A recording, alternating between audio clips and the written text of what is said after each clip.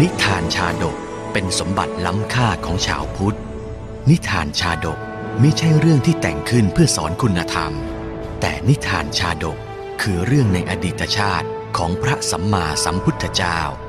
ที่พระองค์ทรงแสดงแก่พระภิกษุในโอกาสต่างๆ เพื่อเป็นแบบแผนในการทำความดี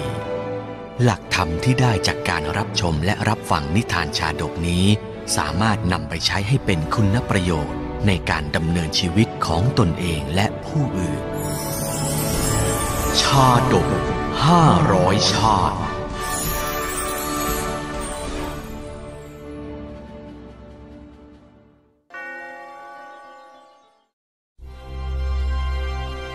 กตาหกะชาดก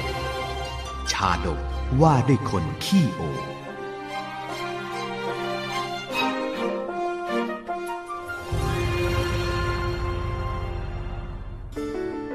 ในพุทธกาลสมัยหนึ่ง พุทธศาสนาสถาปนาด้วยการตรัสรู้ของสมเด็จพระผู้มีพระภาคเจ้านั้นคำสอนของพระศาสดาเป็นที่แจ้งประจักษ์แด่หมู่สาวก และประชาชนไปทั่วพุทธทันดร ถึงหนทางแห่งการหลุดพ้น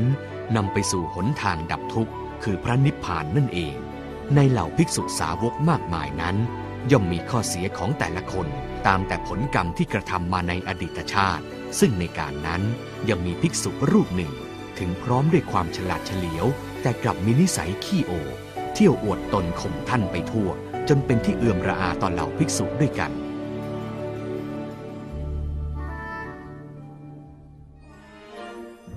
นอกจากพระศาสดาแล้ว ในพระเชตวันแห่งนี้ก็จะหาใครที่ฉลาดกว่าข้าไม่มีอีกแล้ว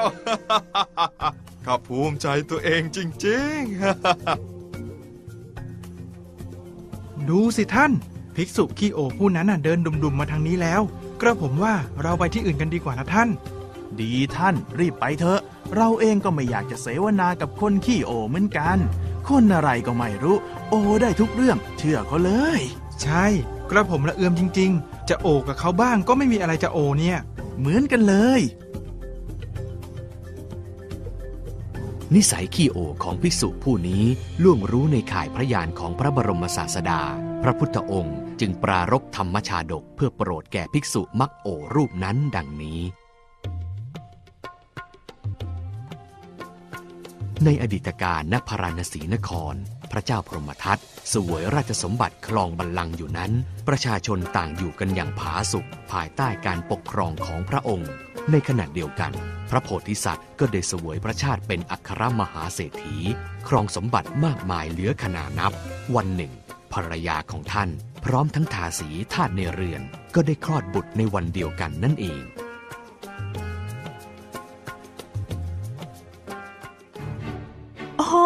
ท่านพี่ น้องปวดท้องเหลือเกินน่ะ โอ้ย โอ้ย อดทนหน่อยนะน้องหญิง อุ้ยพี่อยากให้คนไปตามหมอตำแยมาแล้ว อุ้ยอดทนหน่อยนะ ในเวลาเดียวกันนั้น นางทาสีทาสก็กำลังร้องโอดโอยคลอดบุตรอย่างเจ็บปวด โอ้ยปวดท้องเหลือเกิน โอ้ย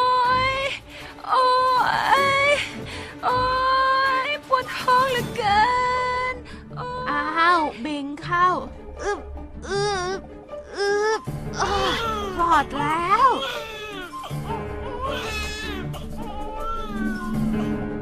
ลูกของเราเป็นยังไงบ้างจ๊ะ ดูสิจ้าน้องหญิง หน้าตาหน้าเกลียดหน้าชัง โตขึ้นน่ะต้องเป็นหนุ่มรูปงามเหมือนพี่แน่ๆเลย แหม ท่านพี่นี่ ไม่ค่อยเห่อลูกเท่าไหร่เลยนะจ๊ะ เด็กทั้งสองนั้นเติบโตมาด้วยกัน เมื่อบุตรท่านเศรษฐีได้เข้าศึกษาร่ำเรียนหนังสือก่อน ลูกทาสของท่านก็ถือกระดานชนวนตามไป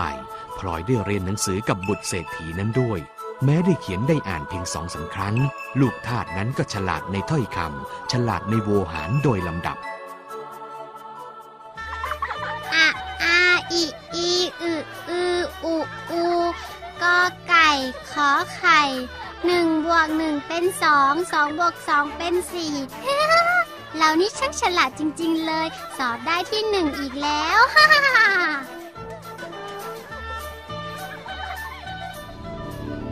วันเวลาผ่านไป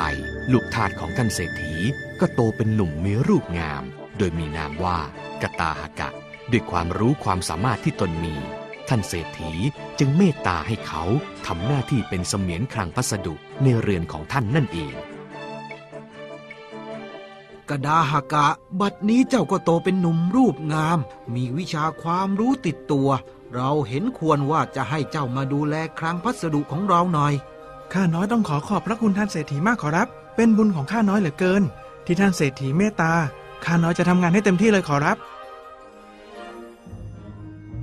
คนฉลาดอย่างเราเนี่ยให้เป็นแค่เสมียนกลางพัสดุตอกต่อย ต่อไปภายภาคหน้า หากเขาเห็นโทษอะไรอะไรเข้าหน่อย ก็คงจะเคี่ยนตีจองจำทำตราเครื่องหมาย แล้วก็ใช้สอยเยี่ยงท่าเหมือนเดิมแหละฮึอย่างเนี้ยต้องหาทางหนีที่ไล่ไว้ตั้งแต่เนิ่นๆแล้วล่ะ ปลอดภัยไว้ก่อนนะเรา ภายนอกดูเหมือนกตาหากะจะดีใจกับตำแหน่งที่ได้รับ แต่ลึกๆในใจแล้ว เขากลับคิดการใหญ่กว่านั้น ฮ่านึกออกแล้ว ที่ชายแดนประเทศ มีเศรษฐีผู้เป็นสหายของท่านเศรษฐีอยู่ ถ้ากะไรซะ เราแกล้งถือหนังสือ โดยถอยคำของท่านเศรษฐีไปในที่นั้น แล้วทำอุบายบอกว่า เราเป็นลูกท่านเศรษฐีลงเศรษฐีผู้นั้น แล้วขอธิดาของท่านเศรษฐีไปเป็นคู่ครองดีกว่ารับรองสำเร็จแน่ๆเลย ต่อไปอะเราจะได้อยู่อย่างสบาย ไม่ต้องตกเป็นขี้ข้าใคร เรานี่ช่างหัวแหลมจริง ๆ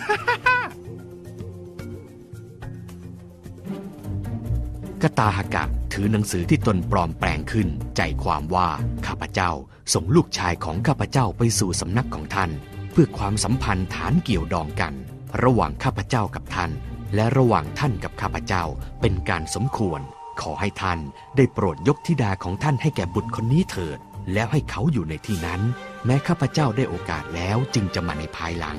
จากนั้น กตาหกะก็ใช้ตราของท่านเศรษฐีประทับในจดหมาย ถือเอาเสบียงและของหอมกับผ้าเป็นต้นไปตามชอบใจ แล้วลักลอบหนีไปสู่ปัจจันตชนบท ตามอุบายที่ตนวางไว้แต่แรก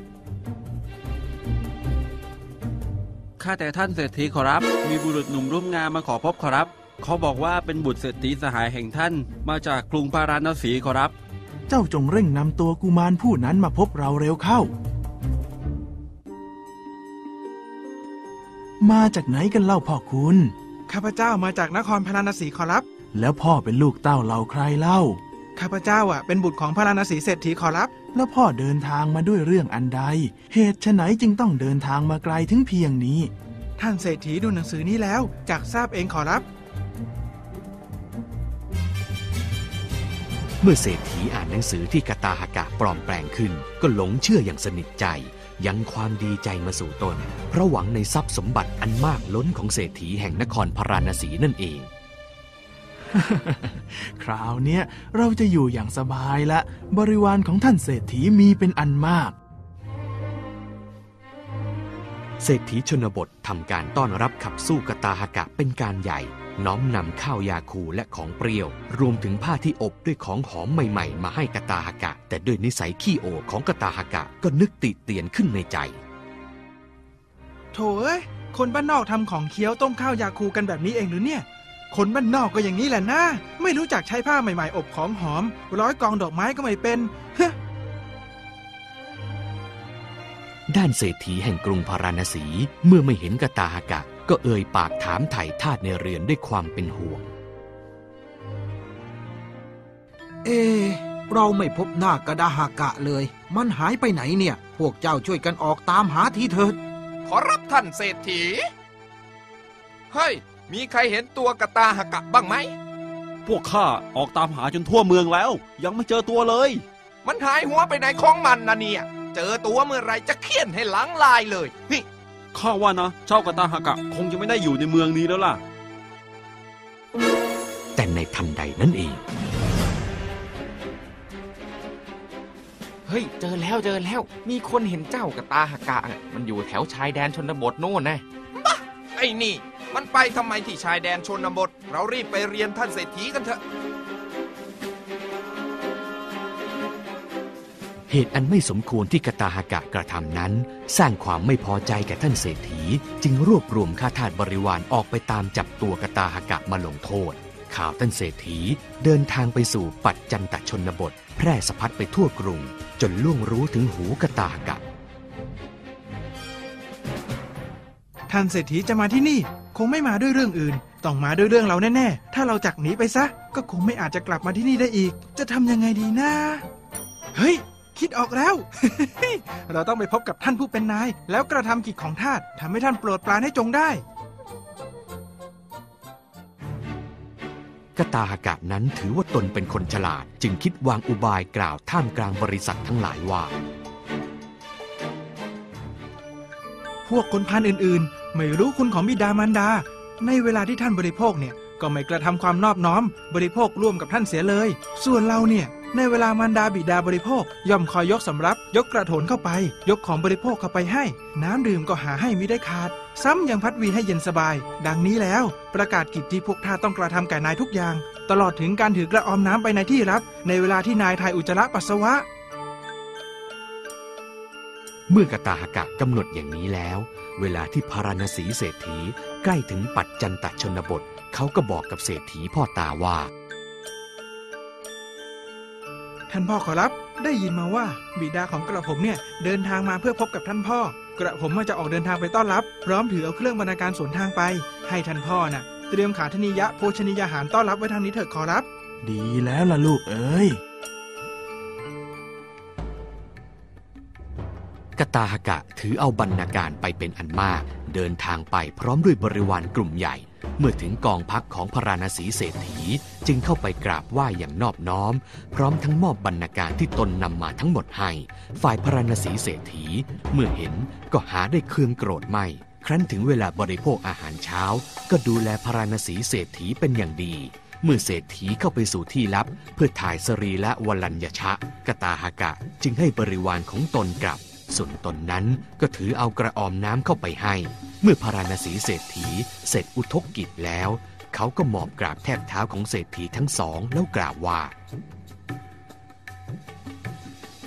ข้าแต่ท่านเศรษฐีผู้เป็นนาย กระผมเนี่ยจากให้ทรัพย์แก่ท่าน เท่าที่ท่านปรารถนา โปรดอย่าให้ยศของกระผมเสื่อมไปเลยขอรับ เจ้าอย่าได้หวาดกลัวไปเลย อันตรายจากสำนักของเราเนี่ยจะไม่มีแก่เจ้าดอก กตาหากะ ก็กระทำกิจที่ท่าต้องทำแก่ท่านตลอดเวลาไม่ได้ขาดตกบกพร่อง จนถึงปัจจันตชนบท ฝ่ายปัจจันตเศรษฐี จึงได้กล่าวกับพาราณสีเศรษฐีผู้เป็นสหายว่า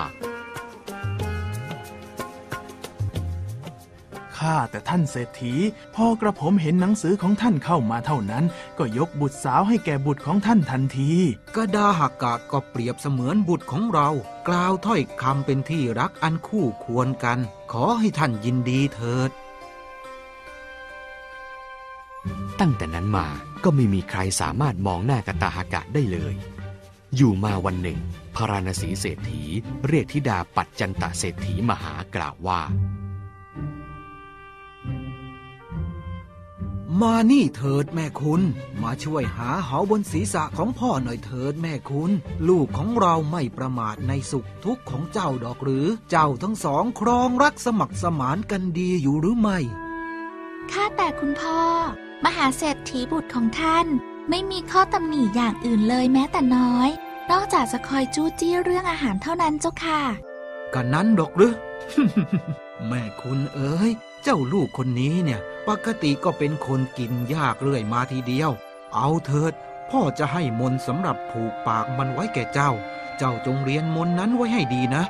เมื่อลูกของเราบ่นในเวลากินข้าวแล้วก็ เจ้าก็จงยืนท่องมนต์ตรงหน้า รับรองว่ากระดาหากะอะจะไม่บ่นอีกเลย มนต์นั้นมีว่าอย่างไรหรือท่านพ่อ อันว่าคันตะวานะ ทูเสยยะ เจ้าจงจำให้ขึ้นใจนะแม่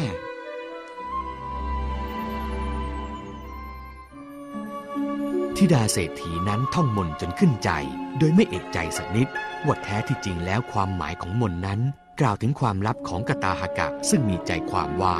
เพราะย้อนทางไปทำกิจของทาสให้แก่นายแล้ว เจ้าจึงพ้นจากการถูกเคี่ยนด้วยหวาย อันจะถลกหนังสันหลังขึ้น และการตีตราทำเครื่องหมายทาสแต่หากเมื่อใดเจ้าขืนทำไม่ดีนายของเจ้าพึงตามประทุษร้ายถึงเรือนนี้ ด้วยการเคี่ยนด้วยหวาย ตีตราเครื่องหมายทาสและประกาศกำเนิดของเจ้า เหตุนั้นกตาหกะเอ๋ย เจ้าจงละความประพฤติไม่ดีนี้เสีย บริโภคโภคะทั้งหลายเถิด อย่าทำให้ความเป็นทาสของตนปรากฏ แล้วเป็นผู้ต้องเดือดร้อนในภายหลังเลยสองสามวันต่อมา พระราณสีเศรษฐีก็เดินทางกลับนคร ฝ่ายกตาหกะก็ขนขาธนียโภชนียาหารมากมายตามไปส่ง พร้อมทรัพย์เป็นอันมาก คล้อยหลังพระราณสีเศรษฐีกลับไปแล้ว ความโอ้อวดเย่อหยิ่งของกตาหกะก็กลับมา วันหนึ่ง เมื่อธิดาเศรษฐีน้อมนำโภชนะ มีรสเลิศต่างๆ เข้าไปให้ ถือทัพพีคอยปรนนิบัติอยู่ เขาเริ่มติเตียนอาหารเหมือนเดิมเฮ้ยน้องหญิง เจ้าเอาอะไรมาให้พี่กินเนี่ย รสชาติไม่ได้เรื่องเลยอีแหละทุยอยากจะอ้วก เศรษฐีธิดาจึงกล่าวคาถานี้ตามทำนองที่เรียนมาจากพระราณสีเศรษฐีกตาหกะเมื่อได้ฟังก็กลับคิดว่า เฮ้ย สงสัยท่านเศรษฐีคงจะบอกเรื่องของเราแก่นางนี้เป็นแน่แล้ว นางถึงได้กล่าวมนต์นี้ต่อหน้าเรา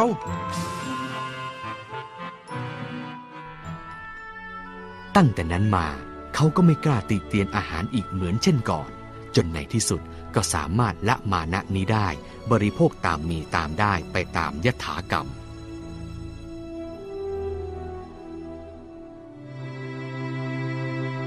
พุทธกาลสมัยต่อมากตาหกะกำเนิดเป็นภิกษุผู้มักโอ้อวดพราณสีเศรษฐีสวยพระชาติเป็นพระพุทธเจ้าผ้าหุมปีโสวิกัดเถยยะ อันยัง ชนะปะทังคโต อันวาคัน ตะวานทูเสยยะ พุนชโพเคกะตาหกะผู้ใดไปสู่ชนบทอื่น ผู้นั้นพึงกล่าวอวดแม้มากมาย ดูก่อนกะตาหกะเจ้าของเงินจะตามมาประทุษร้ายเอา เชิญท่านบริโภคอาหารเสียเถิด